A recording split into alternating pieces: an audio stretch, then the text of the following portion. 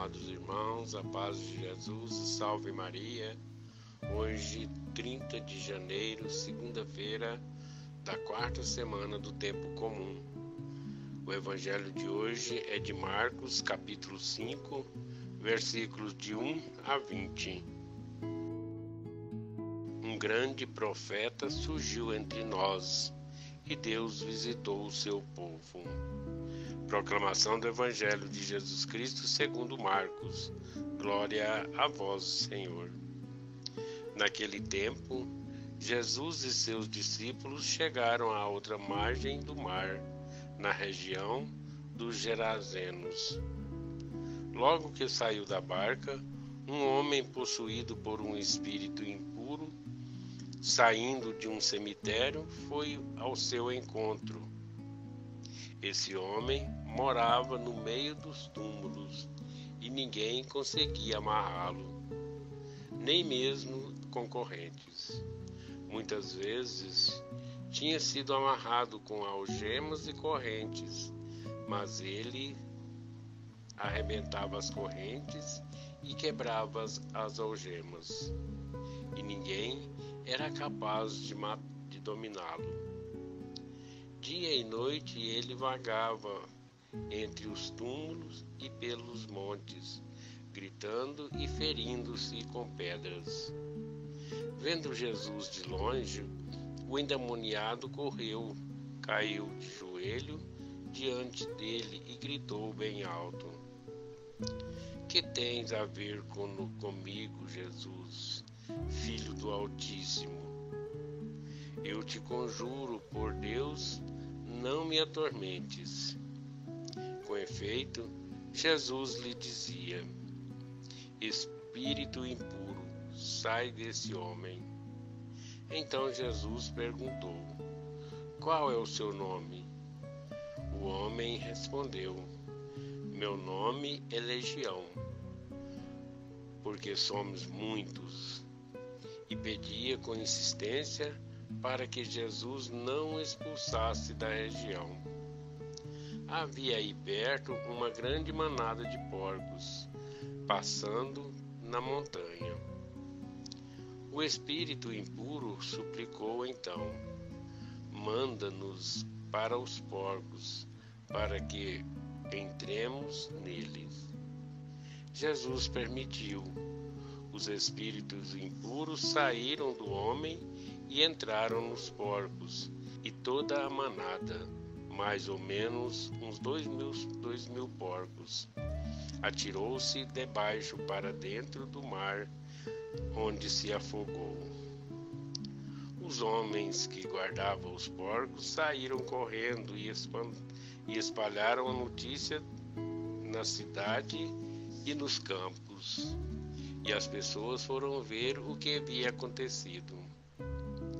Elas foram até Jesus e viam o endemoniado sentado, vestido e no seu per perfeito juízo.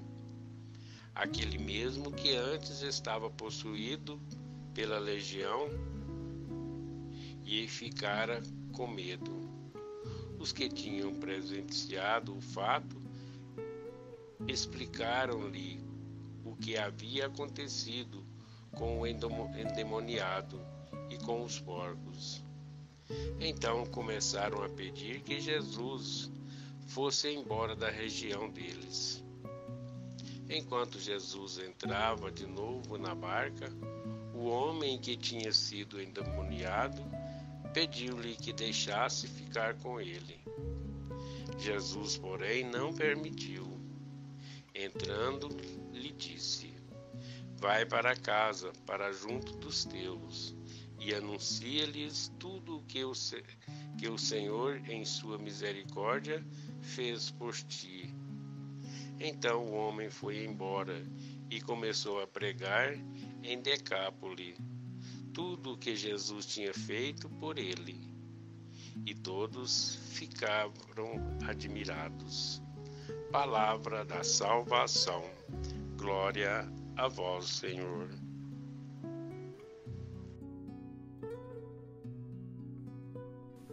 Meus queridos e amados irmãos, Hoje, nessa segunda-feira da quarta semana do tempo comum, depois de vivermos o dia do Senhor, tenho certeza que cada um procurou viver da melhor maneira possível, louvando, agradecendo o Senhor por tudo que Ele nos oferece, por tudo que Ele nos, nos doa por tudo que Ele faz por cada um de nós. Agradecemos por mais essa graça de nos reunirmos nessa segunda-feira e juntos escutar a palavra do Senhor e trazer para o nosso dia a dia. Escutar a palavra do Senhor e trazer para que possa nos orientar na nossa caminhada e hoje, na liturgia, sobretudo no Santo Evangelho, o evangelista nos mostra uma história que nos ajuda na nossa caminhada. Jesus nos mostra e nos direciona e que nós podemos, queridos e amados irmãos, tirar para a nossa vida algo de tão importante que nos enriquece na nossa caminhada, que nos fortalece no nosso dia a dia. E ela nos mostra três situações que nós podemos aprofundar. A primeira situação, ele fala de um homem que vivia na margem da sociedade. Um homem que vivia é, abandonado pela sociedade, um homem que vivia em um cemitério, lugar que talvez nos provoca para que nós possamos pensar a situação daquele homem. Ali ele vivia entre pedras, entre túmulos, se machucando e quem sabe machucando as pessoas também. Um homem que era excluído da sociedade. Será, queridos e amados irmãos, que nós também, muitas das vezes, nós também não deixamos de lado essas pessoas que estão próximas de nós e que precisam da nossa ajuda? Ajuda essa que é a nossa missão.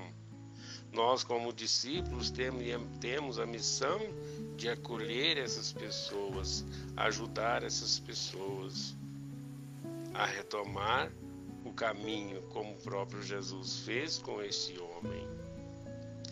A segunda situação é a atitude daquele povo.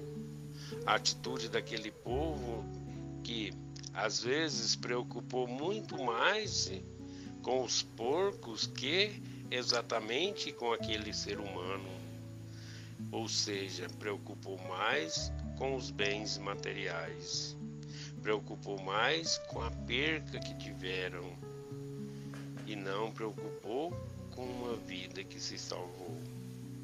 Mais uma vez, vamos meditar na nossa vida, vamos meditar na nossa caminhada. Será que nós também não agimos assim muitas das vezes? Será que muitas das vezes nós não valorizamos o bem material e deixamos o espiritual de lado? É algo que nós temos que meditar no nosso, no nosso caminhar. E a terceira atitude, algo tão bonito. O que, que aconteceu com aquele homem que foi curado? O que aconteceu com aquele cidadão que recebeu a cura de Jesus. Ele teve a atitude de procurar Jesus e querer caminhar ao lado do Senhor. Com certeza ele queria fazer algo também para as pessoas que precisassem. Com certeza ele queria retribuir de uma certa forma aquilo que ele recebeu, ou seja, a, gratidão, ser grato por algo que ele recebeu que com certeza mudou totalmente a sua vida.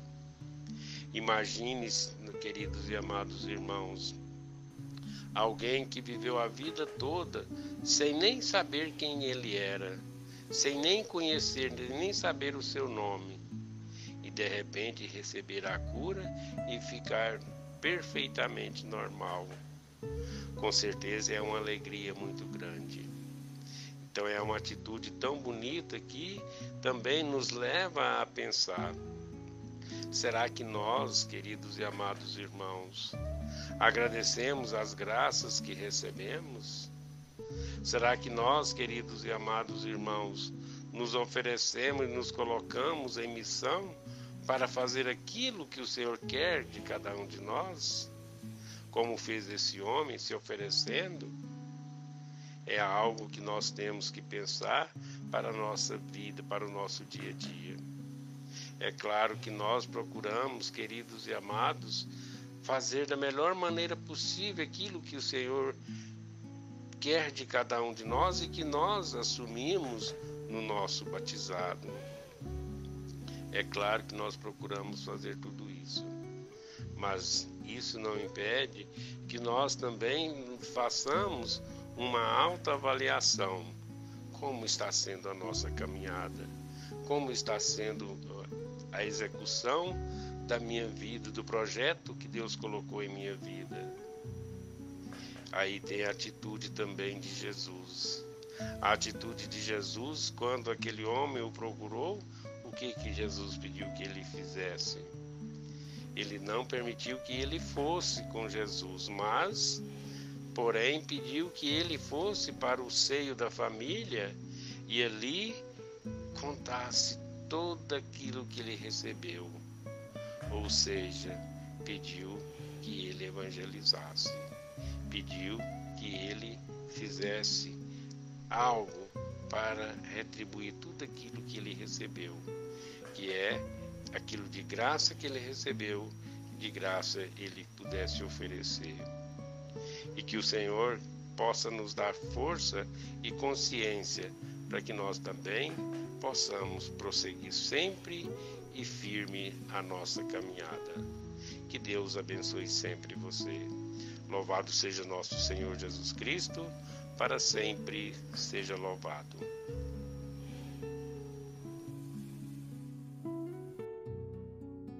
Creio em Deus Pai Todo-Poderoso, Criador do céu e da terra e em Jesus Cristo, seu único Filho, nosso Senhor, que foi concebido pelo poder do Espírito Santo, nasceu da Virgem Maria, padeceu sobre Pôncio Pilatos, foi crucificado, morto e sepultado, desceu à mansão dos mortos, ressuscitou ao terceiro dia, subiu aos céus, está sentado à direita de Deus Pai Todo-Poderoso, donde há de vir e julgar os vivos e os mortos.